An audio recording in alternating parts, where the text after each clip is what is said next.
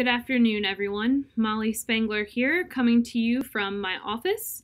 I'm so glad to be back at Shandon in my office and with all of you. After a wonderful maternity leave, it is good to be here again.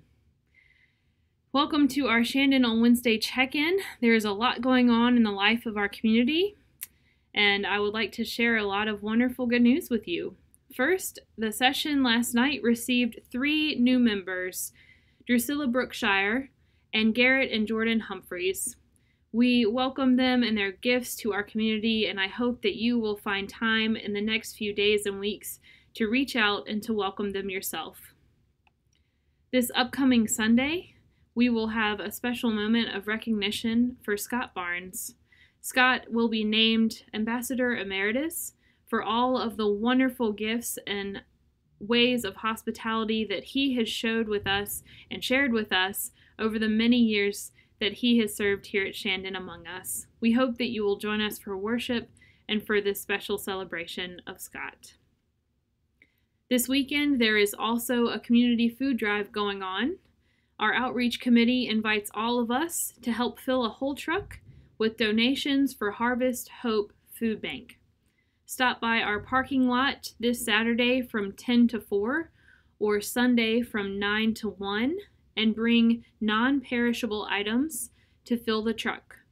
There will be a classic Chevy pickup right out front, and you can bring your food items there. We hope to see you this weekend. Also, very important if you have received an email that says Realm on it, that's not spam, it's from us. Realm is our new online system here at Shandon, and it allows you to give online, among other things. So if you have received an email invitation to join Realm, don't hesitate, go ahead and sign up. That way you can continue or begin to give online. Email invitations are still being sent out, so if you haven't seen one yet, don't panic, it's coming. And if you have any questions, feel free to reach out to us here at at the church and we will talk you through it. And last reminder October 2nd is the deadline to vote.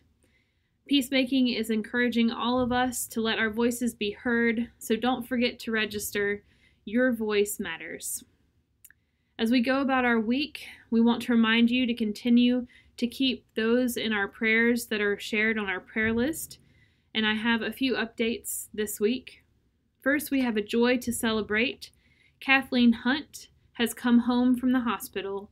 Kathleen is Leah and Alston Gore's granddaughter. She is home and resting, and we continue to pray for healing and recovering for her. We are saddened this week at the news of Betty Lilly passing. Betty passed away on September 11th, and she is the mother of Dodie Cheesem. So please keep Dodie and Paul and their entire family in your prayers in the days and weeks to come. We also want to lift up Spencer Tinman and his family at the loss of his grandmother, Dorothy May Collins. Dorothy passed away on Monday, September 14th, so please keep Spencer and all of his family in your thoughts. Also, in the days and weeks to come, we ask that you continue to pray for all in our Shandon family who are being affected by the coronavirus.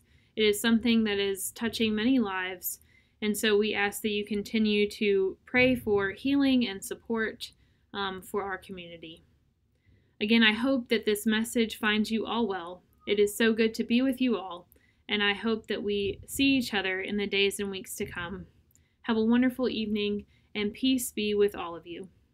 Good night.